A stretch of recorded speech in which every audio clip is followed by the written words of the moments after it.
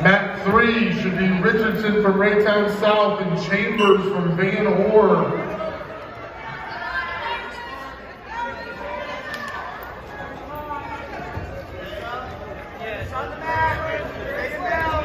In the hole on mat one will be Rojas from Turner and Caldwell from Hallsville. In the hole for mat two will be Snyder from Raytown South and Deckelman from Washington.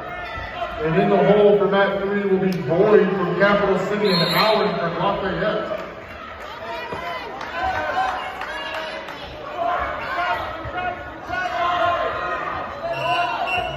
Boys coaches, we need votes for outstanding boy wrestler.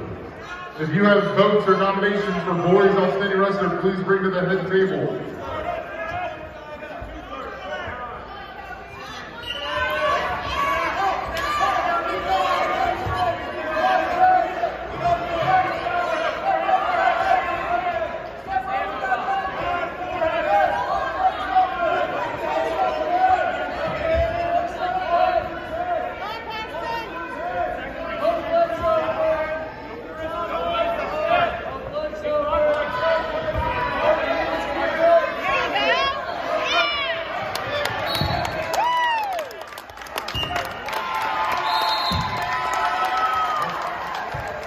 Next up on mat one, Help from Washington and Romero from Raytown South.